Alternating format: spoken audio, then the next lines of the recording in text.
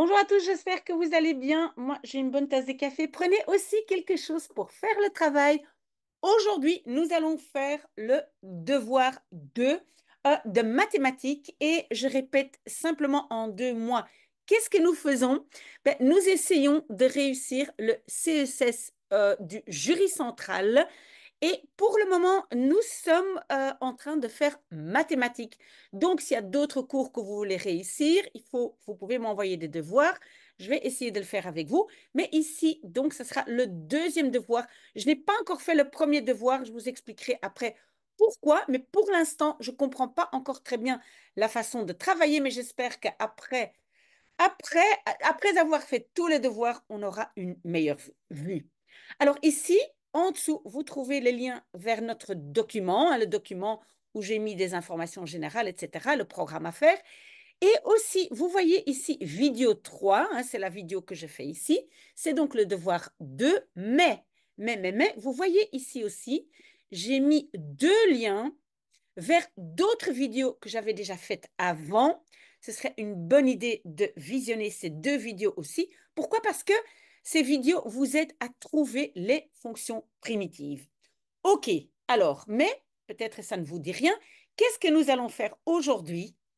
Nous allons euh, regarder un peu c'est quoi les intervalles, hein, donc avec ce devoir, comment calculer, euh, pardon, c'est quoi les intégrales? Oui, j'ai dit intervalle, non, c'est intégral. Comment les calculer? Et puis pour pouvoir calculer finalement d'une façon efficace les intégrales, on aura besoin de trouver la fonction primitive. Et donc, il y a aussi deux exercices dans le devoir, je le vois, qui, demandent de calculer la fonction primitive. Euh, calculer les fonctions primitives, en fait, c'est le calcul inverse des dérivés. Alors, dérivé est plus loin dans les schémas. Donc, je ne comprends pas du tout comment ça fonctionne. En tout cas, aujourd'hui, on fait le deuxième devoir et je connecte maintenant mon petit tableau pour vous expliquer. Voilà, je vous ai fait un petit dessin, hein, vous voyez ici. Voilà, j'ai dessiné la fonction. Avant de continuer, euh, je dois vous dire que vous avez une, application pardon, sur votre téléphone et vous devez essayer de la, la, télécharger. Ça s'appelle Photomat. Et avec Photomat, euh, vous pouvez toujours scanner voyez, vous pouvez toujours, en fait, scanner une, une fonction qui est écrite. Vous la scannez et tout de suite, vous voyez donc les graphiques. Parce que, comme ça, on a toujours une idée, est-ce que j'ai bien fait le calcul? Mais donc, je lis d'abord l'énoncé. En français, les énoncés ne sont pas faciles. Donc, il est marqué, en subdivisant l'intervalle considéré en 2, 4, 8 intervalles consécutifs égaux, calculer les trois valeurs approchées successives de, et puis on a donné A. Bon, vous allez dire, c'est vraiment du chinois. Alors, donc, d'abord, quand on parle, non, je commence par ce que j'ai mis ici dans le grand cadre, et c'est comme ça qu'on écrit des intervalles, euh, des intégrales, pardon. L'intégrale, c'est quoi ou ça sert à quoi? Ça sert à calculer des surfaces qui ne sont pas faciles à calculer. Donc ici, on va calculer la surface en dessous. En dessous, voilà, ça c'est la fonction, hein, vous voyez ici, hein, voilà, ça c'est la fonction. Je vais tout de suite expliquer comment je l'ai dessinée. Et donc, on veut calculer la surface en dessous, donc entre la, la fonction et l'axe x, ça ici c'est l'axe x, et on me donne l'intervalle. Regardez, on appelle ça aussi les bornes. Au-dessus, j'ai un 3 et en dessous, j'ai moins 1. Et donc, ça veut toujours dire, je calcule l'intervalle entre ces deux valeurs de x. OK? Où est-ce que x est ici moins 1 ben, C'est ici. Et où est-ce que x est 3 ben, C'est ici. Donc, ça veut dire, je vais calculer entre moins 1 et 3, la surface de euh, en dessous de la fonction. Ça veut dire, voilà, moins 1, c'est ici. Voilà. Et 3, c'est ici. Donc, qu'est-ce que je vais calculer? Tout ça ici, en dessous. Donc, en fait, c'est une forme, quand, si je dessine ça, c'est une forme comme ça. Et vous comprenez très bien que bah, ce n'est pas très facile de calculer la surface avec euh, bah, toutes les formules que je connais d'avant, euh, d'un cercle, d'un euh, carré, etc. Ce n'est pas facile. Et donc, les intégrales, ça sert à ça. Ça, c'est une première chose à savoir. Maintenant, à la fin, mais ça sera, je pense, le prochain devoir, on va calculer cette intégrale avec des formules. Et pour pouvoir appliquer ces formules, on va devoir trouver la fonction primitive. Mais c'est quoi le premier exercice de votre devoir ici? Et je peux vous dire que, voilà, c'est pas évident, ça demande énormément de travail, on va le faire ensemble. Mais qu'est-ce qu'on va faire? Et c'est comme ça qu'on essaye d'expliquer c'est quoi les intégrales. On va diviser donc l'intervalle entre moins 1 et 3 en morceaux. Hein, en morceaux. D'abord, on demande cet intervalle, je le coupe en 2, puis en 4 et puis en 8. Hein, donc l'intervalle considéré, ça c'est entre moins 1 et 3. Et on va me demander de considérer, donc de calculer, diviser en 2 je vais marquer ici, je vais diviser ce morceau, diviser en 2, diviser en 4 et diviser en 8. Voilà. Et sur les autres pages de mon petit tableau, je vais le faire, mais je veux d'abord que vous compreniez très très bien ce qu'on va faire. OK.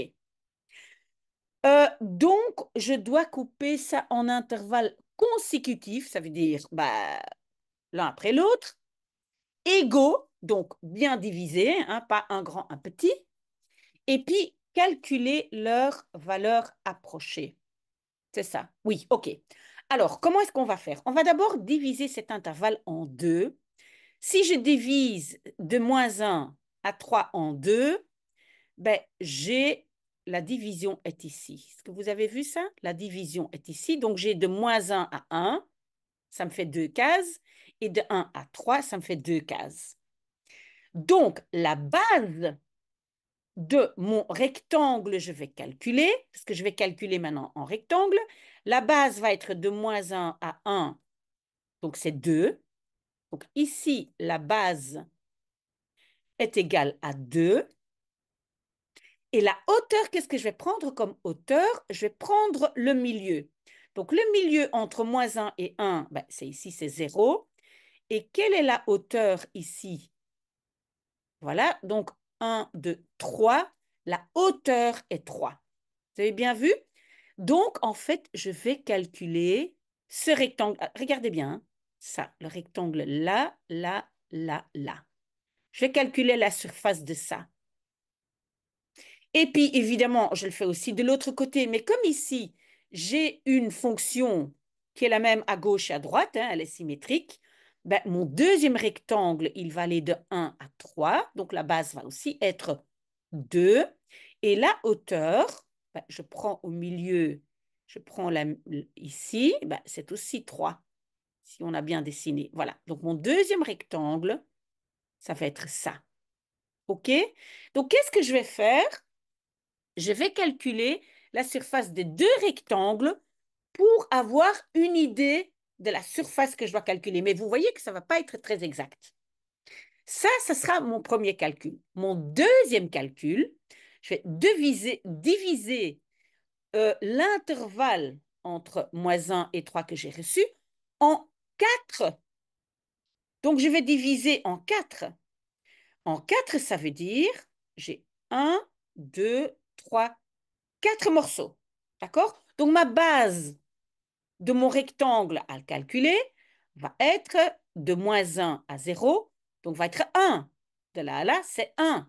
Chaque fois, une case, OK? Donc, la base de ce rectangle, ici, va être 1. OK? Mais la hauteur, ils disent que la hauteur, c'est chaque fois le milieu de mon rectangle. Donc, ici, ça va être ça. Je ne vais pas le calculer maintenant, mais donc, ça veut dire que je vais calculer ce rectangle-là. Et puis, donc ça c'est déjà, je vais avoir ce rectangle-ci. Est-ce que vous avez bien suivi?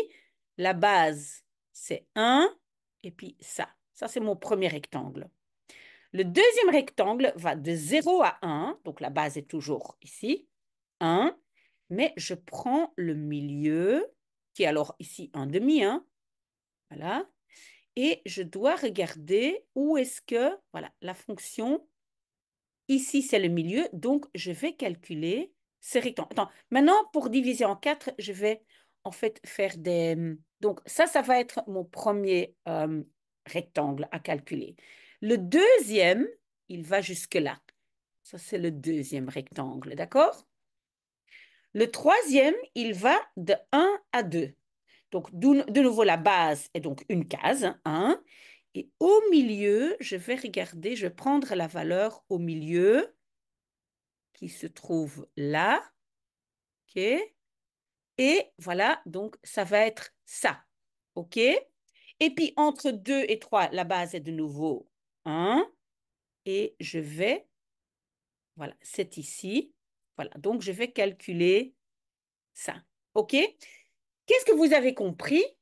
Quand je divise en 4, ben, je vais m'approcher beaucoup plus de la vraie valeur. Hein? Mais je suis toujours pas, parce que vous voyez, j'ai oublié ici des petits triangles. Hein? Je ne vais toujours pas être tout à fait exact. Mais est-ce que vous comprenez maintenant qu'en divisant de plus en plus en rectangles comme ça vers le haut, que je vais m'approcher de plus en plus de la valeur exacte? Donc, quand je vais maintenant diviser en 8, quand je divise en 8, c'est quoi ma base? Mais ma base est, mon dessin maintenant, c'est plus tellement clair. Donc, je vais faire de là à là, 1, 2, 3, 4, 5, 6, 7, 8. Ben, ma base ne va pas être 1, mais 1 demi. OK? Donc, la base pour faire la surface de mon rectangle va être un demi. D'accord? Et la hauteur, à chaque fois, je vais prendre de nouveau la moitié. Donc la moitié, l'image de la moitié se trouve là. Donc, vous voyez, donc je m'approche chaque fois en divisant, je m'approche. Et qu'est-ce qu'on va faire maintenant? Qu'est-ce qu'on nous demande? Je dois calculer la surface en chiffres, en chiffres euh, d'abord deux rectangles, puis quatre rectangles, puis huit rectangles. Et quand je fais le calcul, je vais voir que mon résultat final s'approche de plus en plus de la valeur exacte. OK, donc maintenant, j'efface mon petit tableau. On va faire l'exercice. Ça va prendre un peu de temps. J'espère que vous avez une calculette qui est très, très professionnelle. Moi, je l'ai fait avec mon téléphone et je peux vous dire, ça prend des heures. Hein. Donc, moi, je vais vous donner les valeurs, mais vous devez faire de sorte à ce que vous ayez une bonne calculatrice pour pouvoir calculer ça très très vite. D'accord? J'efface mon petit tableau et je reviens. Voilà, j'ai effacé mon petit tableau, mais j'ai quand même refait un peu le dessin, comme ça on sait ce qu'on fait. Alors, première chose, comment est-ce que je trouve, comment est-ce que je peux dessiner une fonction? Donc, ma fonction originale euh, que j'avais, c'était celle-ci. Donc, d'abord, vous scannez avec votre. Vous, scannez, vous pouvez scanner comme ça à l'écran même, hein, avec Photomat, et vous voyez euh, comment c'est dessiné. Mais comment moi je le fais? Donc, je prends, je, je change les valeurs de x et je calcule l'image.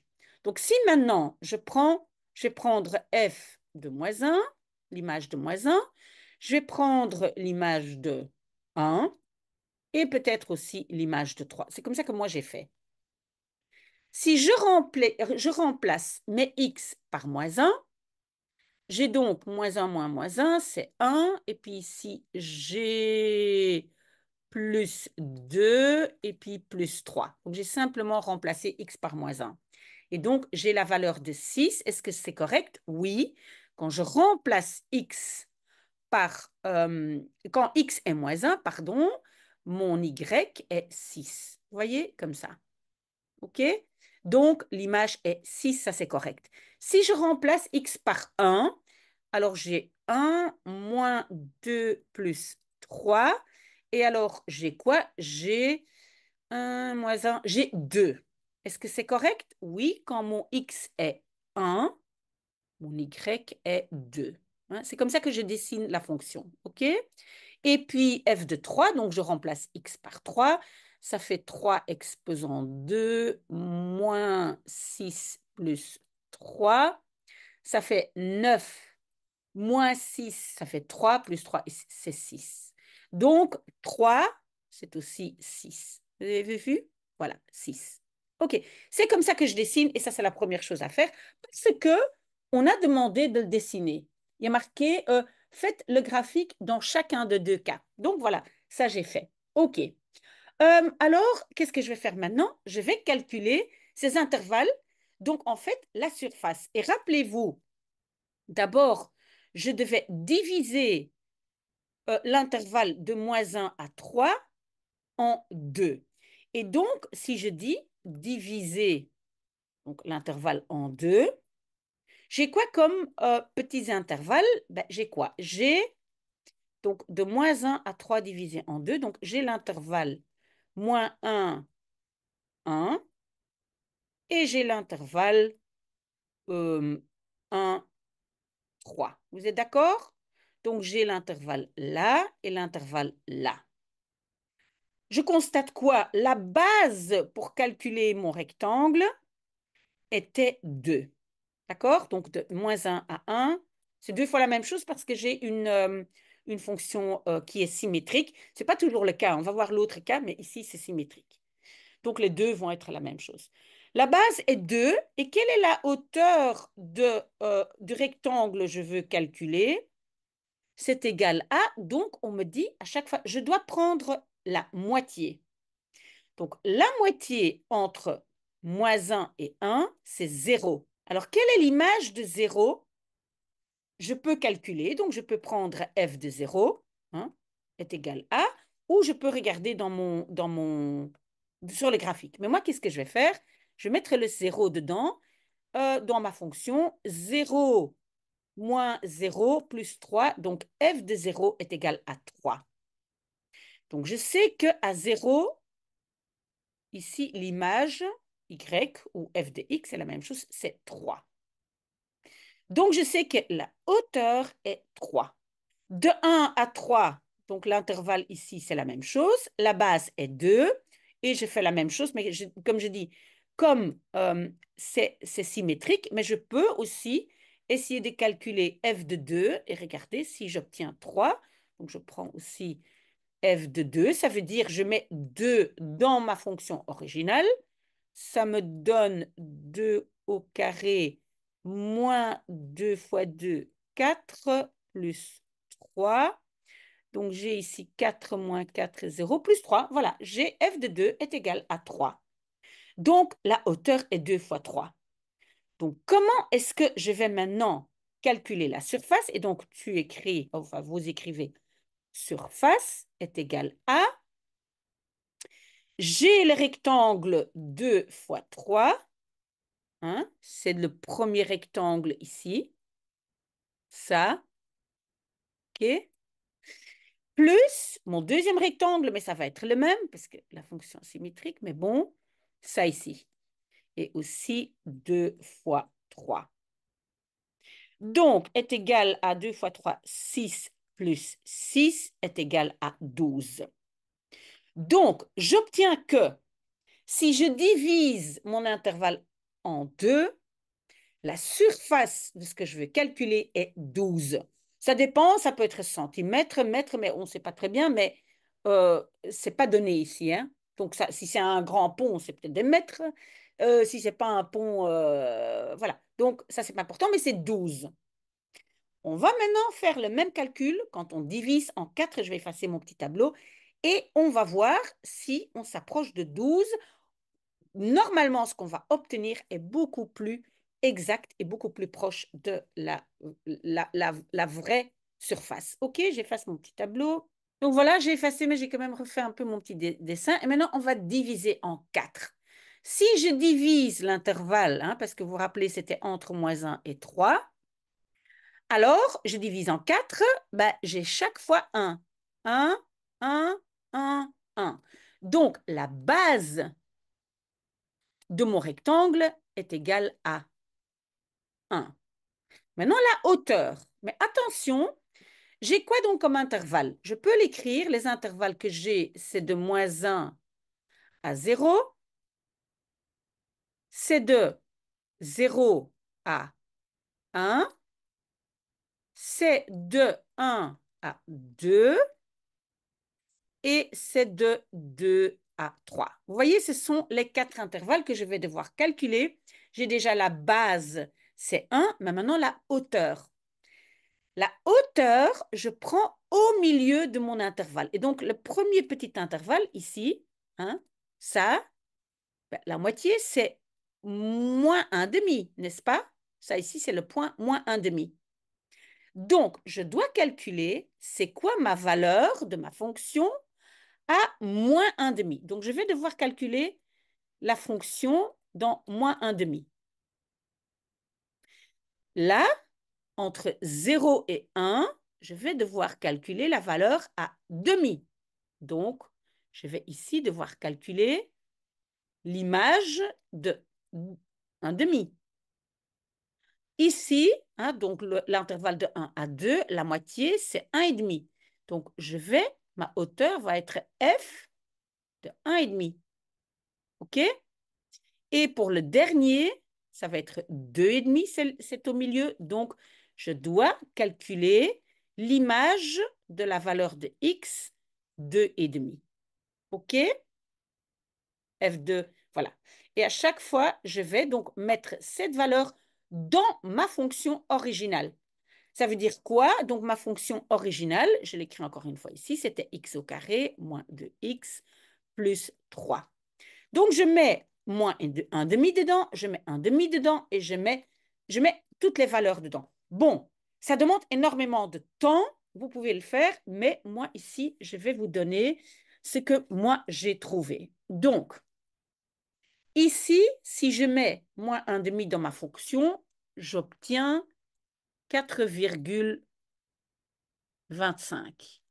Ici, j'obtiens 2,25. Mais faites-le quand même vous-même parce que sinon, comme ça, vous vous entraînez. Hein. Ne pensez, pas du temps perdu, hein, vous vous entraînez. Si je mets 1,5 dedans, dans ma fonction, l'image est ceci. Et quand je mets 2,5, 4,25. Ça semble logique, vous voyez, parce que la fonction est symétrique. Vous voyez, les extrêmes là sont les mêmes. Et ces deux-là aussi parce que la fonction est tout à fait symétrique. OK, donc maintenant, j'ai la base. Et j'ai trouvé les hauteurs de chaque rectangle dont je vais calculer la surface. Donc, premier rectangle va être euh, ça. Ah là là là, simplement pour que vous compreniez. Ça, ça va être le premier rectangle. Et ça ici, c'est la hauteur. Deuxième rectangle, c'est au milieu ici que je prends la hauteur. Voilà, ça va être ça. OK? Euh, Après, c'est au milieu la hauteur, mais ça va être le rectangle ici. D'accord? J'espère que vous me suivez. Et ici, au milieu, entre 2 et 3, c'est 2,5. C'est ça. Donc, je vais calculer ce rectangle-là. OK? Voilà, c'est ça que je vais calculer. Comment je vais le faire? Donc, ma surface, j'écris surface, va être quoi? Chaque fois, la base multipliée par première hauteur, plus base multipliée par deuxième hauteur, plus base multipliée par troisième hauteur. Là, ça c'est un 5, plus la base multipliée par quatrième hauteur. Voilà. Est égal à, oui, fois 1 en fait, donc c'est ça, plus ça, plus ça, plus ça. Et moi, quand j'ai additionné tout ça, j'obtiens que la surface est 13. Rappelez-vous, euh, avant, c'était 12. 13 s'approche déjà plus. Qu'est-ce qu'on va faire? Maintenant On continue et on va, et je vous promets, c'est, je pense que c'est le seul exercice où il y a tellement de trucs à calculer, hein, parce que c'est vraiment euh, OK. Et alors maintenant, quand vous avez écrit tout ça, maintenant, je vais encore une fois diviser en huit intervalles. Donc, je vais avoir huit intervalles à calculer j'efface mon petit tableau, mais je ne vais pas redessiner. Mais qu'est-ce que ça va être divisé en 8 Donc, je vais avoir 1, 2, 3, 4, 5, 6, 7, 8 petits intervalles qui ont la base, base. Hein. Et puis, à chaque fois, je vais calculer la hauteur. OK, j'efface mon petit tableau. Voilà, et je vous promets vraiment que plus loin dans, le calcul des, intégrales, euh, vous, vous allez faire ça autrement. Ici, c'est simplement pour prouver, plus je prends de petits rectangles, plus je m'approche de la vraie valeur. OK? Donc, je vais diviser en 8. Ça me donne, et je vais encore une fois écrire ça une dernière fois, donc mon premier intervalle, c'est de moins 1 à moins 1 demi. Mon deuxième intervalle, c'est de moins 1 demi à 0. Puis, c'est de 0 à 1 demi. 8 petits intervalles. Puis, ça va d'un demi, hop là, à 1. Puis, ça va de 1 à 1 et demi. Puis, ça va de 1 et demi à 2. Et puis, ça va de 2 à 2 et demi. Oui, c'est bien d'écrire tout ça une fois. Hein. Et puis, ça va de 2 et demi jusqu'à 3. Ça, ce sont tous mes petits intervalles. 1, 2, 3, 4, 5, 6, 7, 8. OK. Alors, la base va toujours être 1 demi hein, pour calculer mes surfaces. Mais quelle va être la hauteur? Je dois chaque fois prendre la moitié de ça et rentrer ça dedans. Et ici, vous allez voir, mon Dieu, mon Dieu, ne perdez pas courage. Donc, la moitié entre moins 1 et moins 1 demi, ben, c'est 0, c'est moins 0,75. Et c'est de ça que je vais devoir calculer l'image. OK? Ici, ça va être moins 0,25, qui est la moitié entre moins 1 demi et 0. D'accord? Ici, ça va être plus 0,25. Ici, ça va être l'image de 0,75. J'espère que vous me suivez. Hein. Ici, ça va être l'image de 1,25. Et ici, ça va être l'image de 1,75 qui se trouve au milieu de ces deux valeurs. Ici, l'image de 2,25 et ici, l'image de 2,75. Est-ce que vous avez vu que j'ai chaque fois pris, enfin, je vais calculer, parce que je ne l'ai pas encore fait, parce que f de quelque chose, ça veut dire que je vais calculer l'image des valeurs au milieu de chaque petit intervalle. Moi, je l'ai fait, j'ai mis ces, ces, valeurs dans la fonction initiale qui était x au carré moins 2x plus 3. Voilà, et donc je ne vais pas vous montrer tous les calculs, je vais à chaque fois écrire la valeur que j'ai obtenue. Ici, c'est égal à 5,0625. Ici, c'est égal à 3,5625. Ici, 2,5625. Ici, 2,0625. Oh mon Dieu. Ici, ah ben là, en fait, on va avoir de nouveau la même chose, mais dans l'autre sens, parce que, voilà, la fonction est symétrique de là à là. Hein. Donc, vous allez voir que vous, vous allez obtenir exactement la même chose. Donc, 2,5625 est égal à 3,5625 est égal à 5,0625. OK, et qu'est-ce que je dois maintenant faire pour calculer la surface? Chaque valeur ici, chaque hauteur, multipliée par sa base. Donc, ça veut dire, je vais faire ça multiplié par un demi, multiplié par un demi. Vous pouvez écrire tout ça, hein? multiplié par un demi, multiplié par un demi. Vous multipliez tout par un demi, vous additionnez tout, et moi, j'obtiens donc la surface est égal à 13,25. On s'est approché encore un tout petit peu plus de la valeur exacte. Voilà, je pense que ça, c'était tout pour A. Oui, c'est vrai que ça n'avance pas bien. Ça prend énormément de temps, mais j'espère que B va aller un peu plus vite. J'efface mon petit tableau. Voilà, je vous, ai écrit donc l'exercice B. Alors, qu'est-ce qu'on dit? Donc, vous devez aussi à nouveau euh, couper en intervalle 2, 4, 8. Et de quoi? Donc, c'est la mesure de la surface, donc une surface, comprise entre le graphique de la fonction x projetée sur x exposant 3 moins 4, donc ça va être ma fonction, et l'axe x, où x est 0, l'axe x, et les droites, x est égal à 2, x est égal à 3. On va d'abord essayer de dessiner. Bah, dessiner ma fonction, donc ma fonction c'est x exposant 3 moins 4x. Qu'est-ce que je dois faire? Ben, D'abord, je vais scanner cette fonction pardon, avec mon application Photomat et vous allez voir que ça va faire une grosse scroll et je vais quand même calculer quelques valeurs exactes.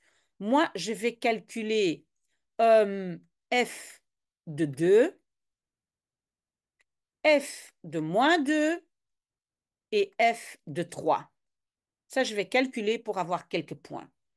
OK, si je mets 2 dans ma fonction, j'ai donc 2 exposant 3 moins 4 fois 2. Si je mets moins 2 dedans, j'ai moins 2 exposant 3. Et puis j'ai moins moins, ça devient plus 4 fois 2. Et si je mets 3 dedans, dans ma fonction, j'ai 3 exposant 3 moins 4 fois 3. C'est comme ça qu'on le fait. Qu'est-ce que j'obtiens? 2 euh, fois, donc ça ici c'est 8 moins 8, ben, c'est 0. Ici, j'obtiens donc moins 8 parce que je, je, fais moins 2 fois moins 2 fois moins 2, c'est moins 8 plus 8, c'est aussi 0. Hein, donc j'ai moins 8 plus 8, c'est aussi 0.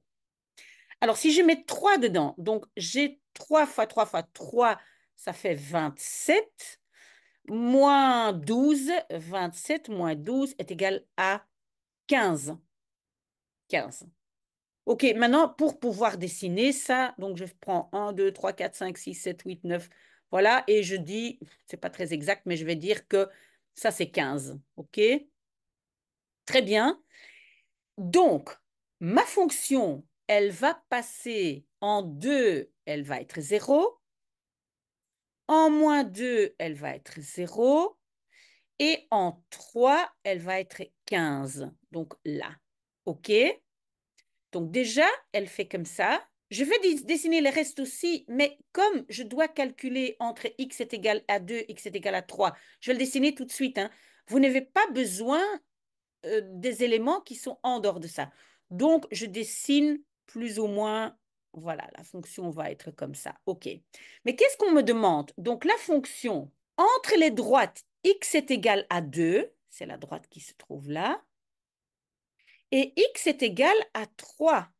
Donc, je dois seulement être dans l'intervalle entre ces deux droites-là. Parce qu'on a dit que je dois calculer la surface entre ma fonction, là, et l'axe x, et les droites x2, x3. Donc, comme ça. Vous voyez? Donc, en fait, la seule chose à calculer, c'est ceci. Ça, je dois calculer, je dois couper en deux morceaux, en quatre morceaux, en huit morceaux. J'espère que ça, c'est clair. Alors maintenant, je vais quand même vous laisser un peu calculer. Euh, et qu'est-ce que vous allez faire? Donc, si je divise en deux, diviser en deux, quelle va être ma base? Si je divise en 4, quelle va être ma base? Et si je divise en 8 OK. Si je divise mon intervalle entre 2 et 3 en 2, ben, ma base est un demi. Donc ici, je vais avoir deux intervalles. Je vais avoir de 2 à 2,5 et je vais avoir de 2,5 à 3. On est d'accord? Voilà. Euh, à 3, pardon. OK. Donc, ma base ici va être un demi. Donc, quand je divise en 2, la base va être un demi. Je vais l'écrire après sur l'autre écran. Si je divise en 4, ma base va être quoi? Pas un demi, mais 0,25. Hein? Je divise en 4, 0,25. Et si je divise en 8, ben, ma base va être 0,125. OK, vous pouvez faire le calcul. Mais donc, je divise entre 2 et 3. Je vais simplement, sur l'écran prochain, vous indiquer comment est-ce que vous allez trouver aussi les hauteurs et vous allez faire le calcul vous-même. D'accord? J'efface mon tableau et je reviens vers vous et vous allez calculer. Voilà, donc on a dit quand on divise en 2, hein, donc je vais devoir aller de 2 entre 2 et 3. OK? Entre 2 et 3. Donc si je divise en 2, la base est égale à 1 demi. Mais ma hauteur, pour avoir la hauteur des deux, deux intervalles, je dois prendre une fois, donc j'écris hauteur, et une fois f de ben, le milieu de là. Le milieu de là, ça va être 2,25. Vous êtes d'accord? Donc f de 2,25 que je vais mettre dans ma fonction initiale qui était, euh, où est-ce qu'elle est là?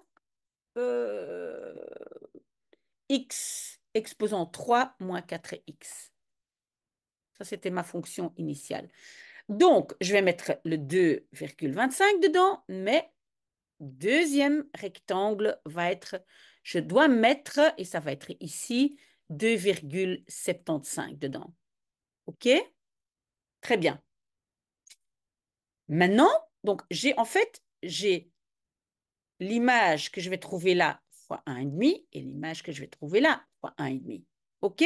Faites le calcul et moi je l'ai déjà fait, donc on peut s'échanger les calculs, mais essayez de le faire. En tout cas, j'obtiens comme surface, si je, si je coupe en deux, j'ai 6,09375.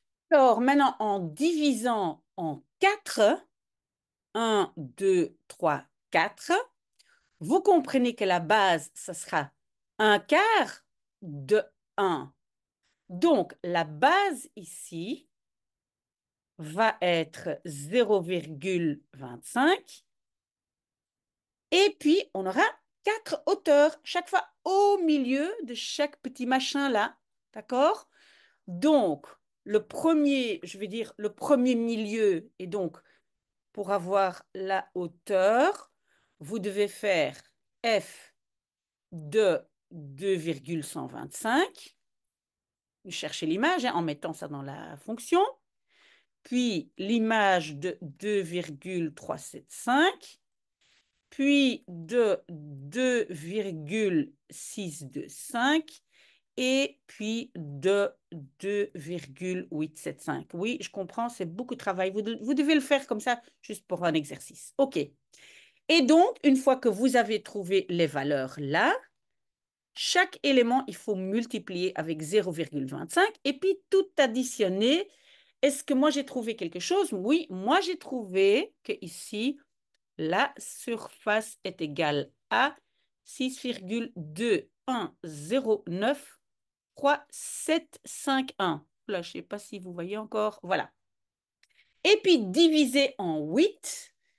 Euh, je n'ai même pas fait le calcul. Ben voilà, là, je vous laisse galérer. Moi, je n'avais plus le courage. Mais donc, je vais au moins vous donner la base. Donc, la base, ben, c'est la moitié de ça. Hein. Si je divise en 8, donc la base est égale à 0,8. 125, euh, ça c'est la base.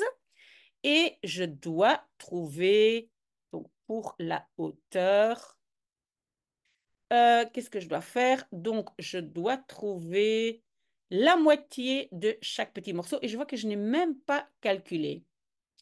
Euh, donc, 50, 62 et demi. Chaque fois, on avance de 62 et demi, ça me donne 2,0. Voilà. Ça, c'est, je pense, je pense, la première moitié ici. OK? Regardez si c'est correct. hein. Et puis après, vous avancez chaque fois de 0, 0, soit, voilà. Vous- chaque fois, vous avancez de ça. Donc, ça, et vous avancez. Voilà. J'espère que ça va aller. Si ça ne va pas, je fais le calcul avec vous. J'avais déjà commencé, mais je n'ai pas eu le courage. Normalement, euh, ça doit être un montant qui est encore un tout petit peu plus élevé que ça et qui s'approche encore un peu plus de, euh, euh, de la valeur exacte. OK, très bien, j'efface mon tableau. Le reste est beaucoup moins, euh, détaillé. Vous allez comprendre. Voilà, deuxième exercice, il faut trouver les fonctions primitives. Ben, pourquoi? Parce que vous avez bien compris, on ne va pas chaque fois faire le calcul qu'on vient de faire. Il y a des façons plus efficaces. Il y a des règles. Pour pouvoir calculer l'intégrale, je dois trouver la fonction primitive. Et on commence par ça. Comment trouver la fonction primitive? Comme j'ai dit, c'est en fait l'inverse euh, de, euh, comment on appelle ça, les dérivés. OK, je ne donne pas encore les règles. À un certain moment, quand on a fait beaucoup d'exercices, je vous donne les règles. Je mentionne les règles qu'on va appliquer. Et donc, on demande de trouver la primitive de 2x moins 3 exposant 2. OK, pour pouvoir travailler avec ça, je vais écrire ça autrement. Et je ne sais pas si vous vous rappelez euh, que vous aviez vu, je pense que c'était déjà en troisième ou quatrième, que ça est égal à, nous on appelait, ça le double pro- produit, mais je ne sais pas comment vous appelez ça. Euh, voilà, ça c'était la formule. C'est une formule qu'il faut connaître.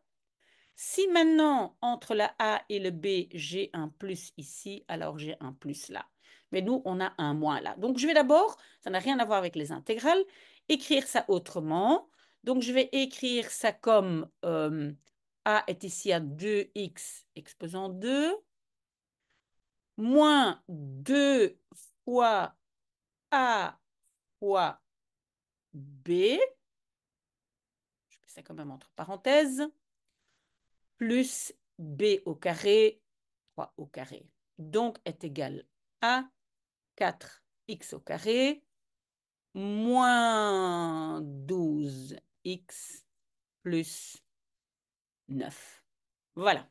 Alors, une première règle à connaître pour chercher la fonction primitive, c'est que quand j'ai des éléments qui sont séparés par des plus et des moins, je peux trouver la fonction primitive de chaque élément séparément. D'accord? Ça, c'est la première chose à retenir. OK, comment est-ce que je trouve la fonction primitive de cet élément-là? Je réécris le nombre, j'augmente l'exposant de 1, donc le 2 devient 3, et je divise par ce même nombre qui est l'exposant, 3. OK? Deuxième élément, je fais la même chose, moins, j'ai réécrit le 12, puis x, oui, en fait ici, il y a un petit 1, hein, qu'on n'écrit pas, mais c'est un 1. Donc, on augmente de 1, ça devient 2, mais je divise aussi par ce même nombre qui est l'exposant, d'accord? Et puis plus 9, mais attention, là, il faut bien regarder. En fait, qu'est-ce qui est marqué ici? Il y a marqué 9 exposant x, euh, euh, 9x exposant 0. 0 plus 1, c'est 1. Donc, ça va devenir, je réécris le 9, le x exposant 0 va devenir x exposant 1 et je vais encore une fois diviser par 1. Et vous allez comprendre ça plus tard quand on revoit les dérivés. Il y a aussi encore un chiffre qui peut être là, une constante. C'est un nombre hein, que je ne connais pas mais qui est parti en dérivant. Donc, je dois quand même toujours écrire plus c. C'est une constante. Tu ne la connais pas. Elle a disparu. OK? Mais n'oublie pas. Euh, voilà, je simplifie un tout petit peu. Ici, je peux écrire ça comme 4 divisé par 3x exposant 3. Et puis, j'ai 12 divisé par 2, ça fait 6x exposant 2. plus, bah, le 1, je ne dois pas écrire, le 1, je ne dois pas écrire, 9x plus c. Et en fait, quand c'est une fonction primitive, normalement, on écrit un grand F au lieu du, petit f. Ça, c'est la fonction qu'on m'a donnée. Et la primitive est donc un grand f. OK, donc ça, c'est la réponse de, de l'exercice 2A. On va vers 2B. Donc la fonction qu'on me donne, hein, f de x, est égale à le cosinus de 2x. Oui, donc tu vas aussi voir dans les règles euh, que le, la fonction primitive du cosinus, c'est le sinus.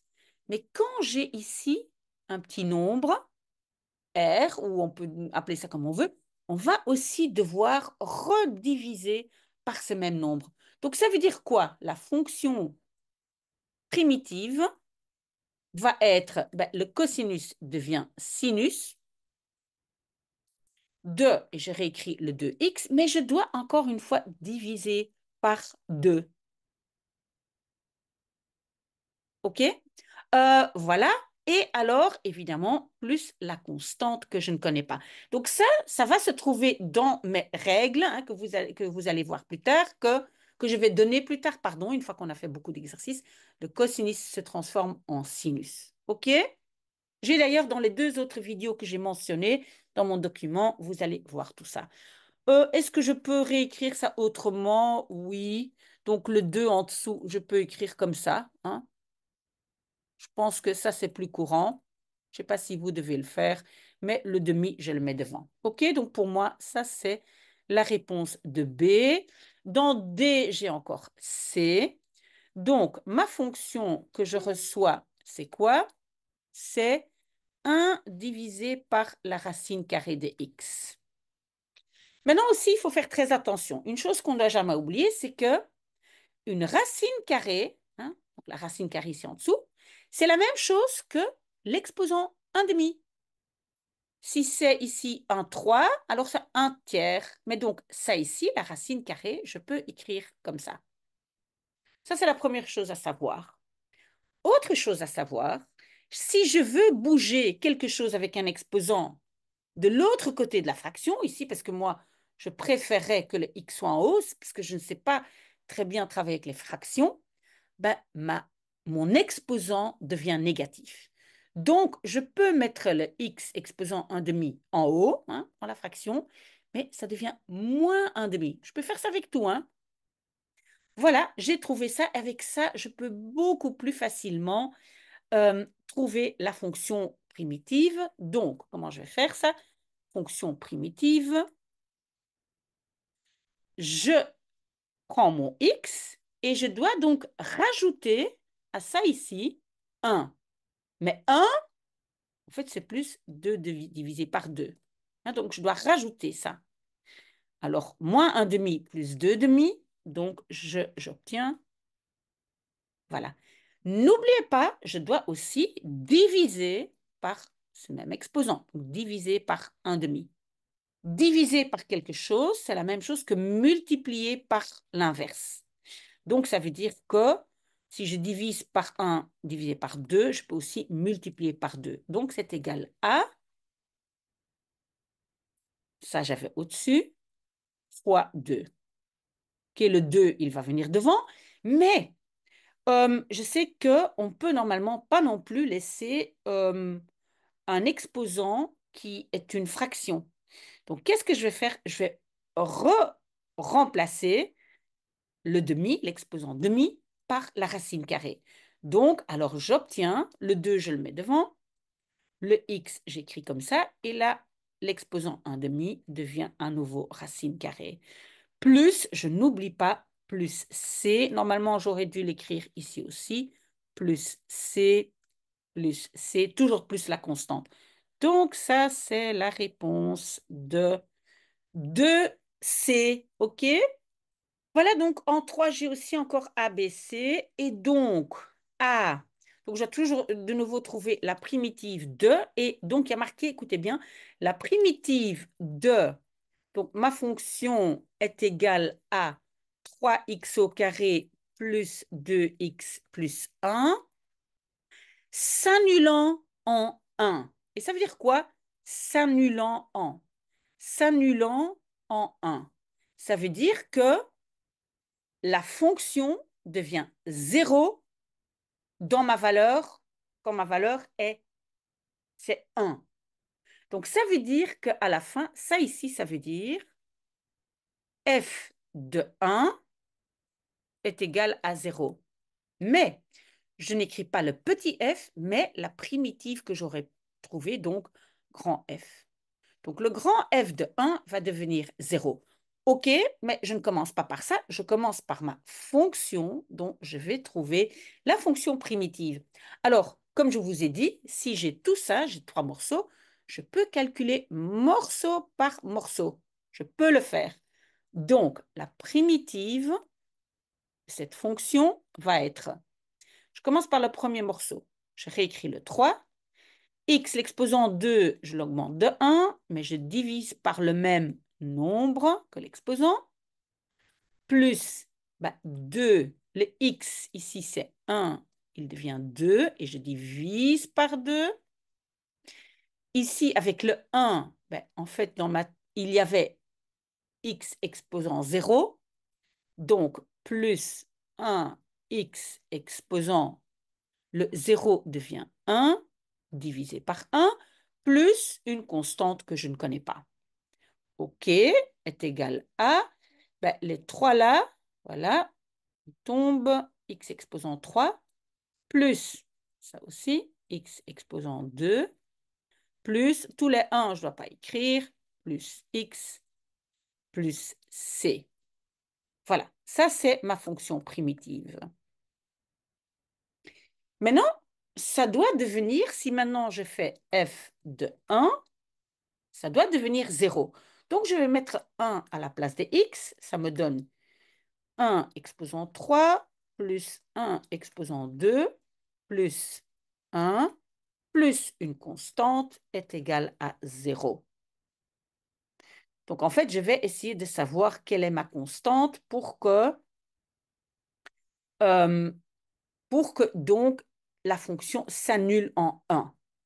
OK, donc 1 exposant 3, c'est 1 plus 1 plus 1 plus c est égal à 0. Donc, ça, c'est 3, c est égal à moins 3. Ça veut dire que ma constante ici va être moins 3. Ça ici va être moins 3. Donc, ça veut dire que ma réponse, ça va être la fonction primitive est égale à x exposant 3 plus x exposant 2 plus x moins 3.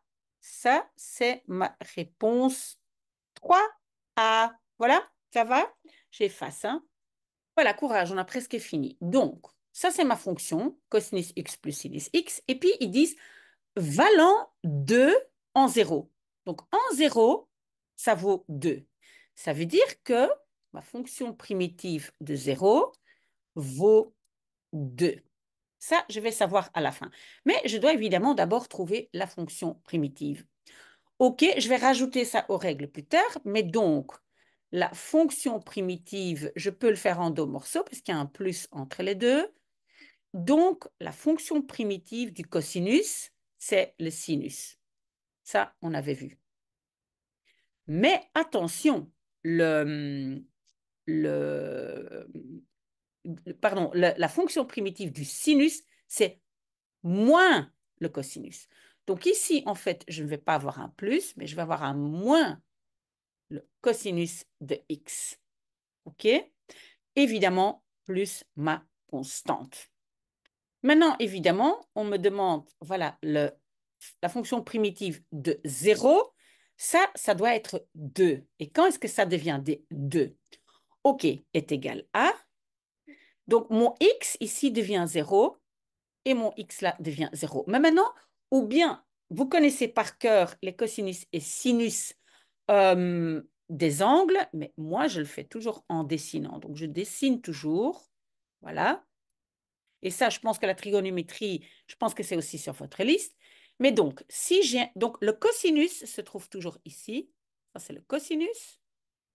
Et le sinus, c'est ici à la verticale. Ça, c'est le sinus. Ou en dessous aussi, évidemment, sinus. Sur l'axe Y. OK. Alors, mon angle 0, ben, il est là, parce que c'est 0, et puis ça monte, ça c'est 90, 180, etc. OK. Donc, quel est le cosinus de mon angle 0 ben, C'est cette longueur, c'est 1. D'accord? Donc, le cosinus est 1. Ça, c'est 1. Donc ici, c'est, voilà. Quel est le sinus de l'angle 0 ben, Il ne monte pas. Il n'y a pas de sinus. Ça ne monte pas. Donc le sinus, il est 0. Il se trouve ici. Vous voyez? Hop, 0. Parce que, regardez, en fait, peut-être c'est plus facile. Si on a un angle comme ça, ça, c'est mon cosinus, et ça, c'est mon sinus. Mais l'angle 0 ici, ben, il ne monte pas. Donc, le sinus est 0. Donc, c'est j'ai 0 moins 1 plus C, et ça doit être égal à 2, on a dit ici, d'accord? Égal à 2. Donc, je continue. Ici, le moins 1 peut aller de l'autre côté. Donc, j'ai C est égal à 2. Et le 1 va de l'autre côté. Donc, ça devient plus 1. Donc, la constante est égale à 3. Ça veut dire que ma fonction primitive de ma fonction valant 2 en 0 est égale à le sinus de x moins le cosinus de x plus 3. J'avais trouvé ici la constante est 3. OK, ça c'est ma réponse et il ne me reste plus que, je pense, C. 3C. Voilà, dernier exercice. Donc, la fonction de x est 3 divisé par x exposant 2. Ça, c'est ma fonction. Et puis, valant 3 en moins 1. Donc, quand je prends f de moins 1, ça vaut 3. OK? Mais d'abord, ma fonction primitive. OK? Alors, attention, parce que je ne sais pas faire grand-chose avec ça. Donc, je vais d'abord euh, essayer de transformer un peu ma fonction. Si je mets mon x au carré au-dessus, rappelez-vous, l'exposant doit changer de signe. Donc, c'est 3 x exposant moins 2. Vous êtes d'accord? OK, donc avec ça, je peux trouver la fonction primitive. Donc, la fonction primitive est égale à, je réécris le 3. Le x, je fais l'exposant plus 1, ça me donne moins 1. Hein? Moins 2 plus 1, ça fait moins 1 mais je dois aussi diviser par moins 1. Plus, évidemment, la constante. OK, bah le, ici le moins 1, en fait, ça disparaît. Je mets juste un moins devant. Qu'est-ce que je dois encore faire? Je dois Donc le 1, je ne dois pas l'écrire, mais comme l'exposant est négatif, je dois remettre mon x en bas pour que ça devienne plus. Je ne peux pas, normalement, on ne veut pas d'exposant ni négatif, ni des fractions dans les exposants. Donc, j'ai moins 3 divisé par x plus c. Donc maintenant, je vais prendre f de moins 1 et ça doit me donner 3. Euh, doit être égal à 3. Donc, si je mets... Est-ce que j'ai encore de la place? Oui. Donc, je mets moins 1 dans mon x. Donc, je fais moins 3 divisé par moins 1 plus C, et ça doit être égal à 3. Donc, ici, ça ici, ça devient plus 3. C'est plus 3. Je vais mettre mon plus 3 de l'autre côté. Ça va devenir moins 3. D'accord? Donc, qu'est-ce que j'obtiens? Ma constante est égale à 0. Donc, il n'y a pas de constante. Donc, ça veut dire la constante ici, elle n'est pas là. Donc, ma fonction primitive est ceci. Ben, c'est parce que j'ai plus de place, mais ma réponse va être la fonction primitive de x est égale à moins 3 divisé par x et on a fini. Voilà, vous avez été très, très courageux. Le reste sera un peu plus facile. Euh, oui, moi, euh, évidemment, je continue mon café et à très bientôt. Et s'il y a des questions, n'hésitez pas.